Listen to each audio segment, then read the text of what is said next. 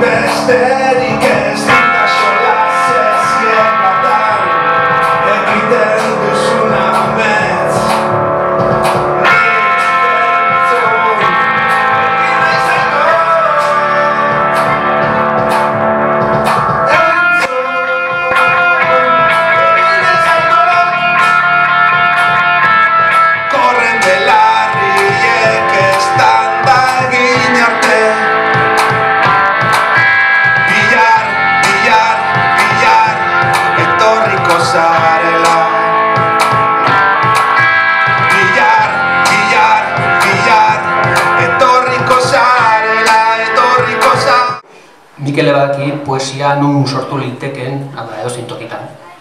Behin esan dutzen txiste txar modura, berak irakurri ban poesia bat, eta gogoratze ban zelan literan, etzan da egoanean, paretean goran humedade ikuste ban. Eta esan dutzen, ba hoxe, ba, azkenean, poesia, literatura hori da, literan, ura, literatura.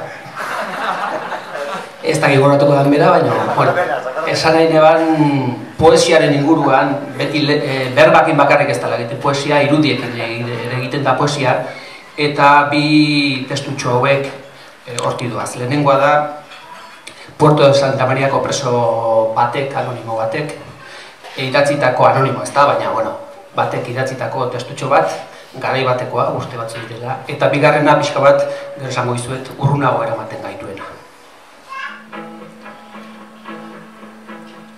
Preso politiko uruguaierrek ezin dute baimenik gabe hitz egin txistua jo, irribarre egin, abestu, azkar ibili eta beste preso bat agurtu.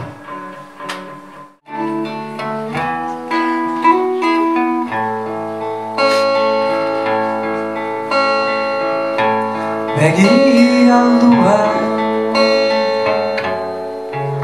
Gau bakarren Hau aldu Azken Atxeda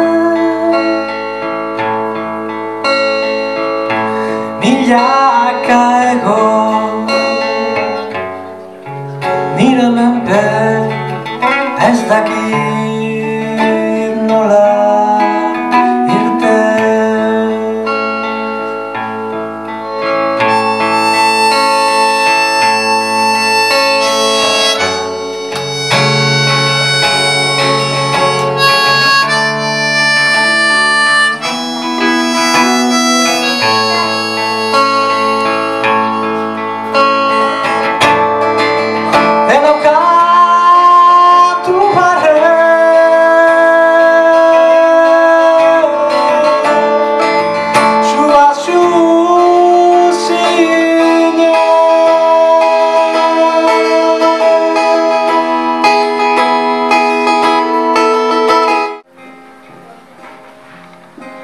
Idazten didasunean, ez ahaztu helbidea ondo jartzen.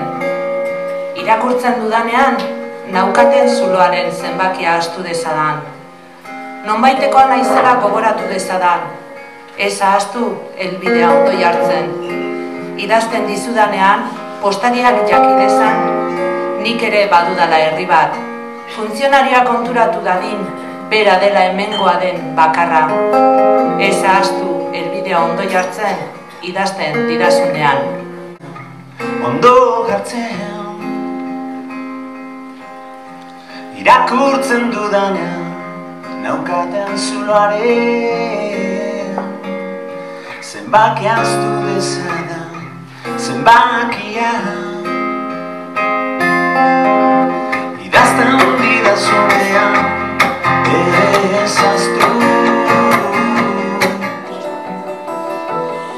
naiz poeta, ez da idazlea ere, baina gaurkoan berba batzuk esatea tokatzen zait. Tokatzen zait diot, berbaz esatea zail egiten zaidalako barruan bueltaka darabiltena.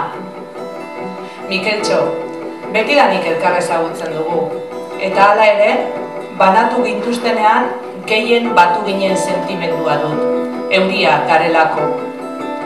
Gogoan dut, mekon, kristallodi eta zikina tarteko batzen gineneko garaia. Gogoan dut, estremeran modulora eraman eta kide karrera egin berri, Soniak berriz bezarkatu eta Mikeltxo kalera esan zidan unea. irakurteko.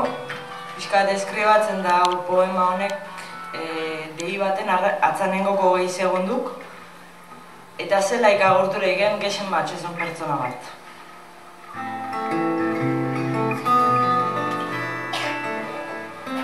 Hogei segundu. Zaila da agur esatea. Batez ere, euriari duen arratsaldetan. Telefonoari ere mehagoa da, unea heltzen denean. Dakidanean, negar egiten duzula euriari duen arratsaldeetan. Zaila da agur esatea. Batez ere, argia joaten den gauetan. Telefonoari ere mehagoa da unea heltzen denean. Dakizunean, negar egiten dudala argia joaten den gauetan. Bi segundu. Maite zaitut lastana. Ondo digo. Zero segundu. Fin de la llamada. Servicio no dispone. Esango ze, koño, ez atxikiz.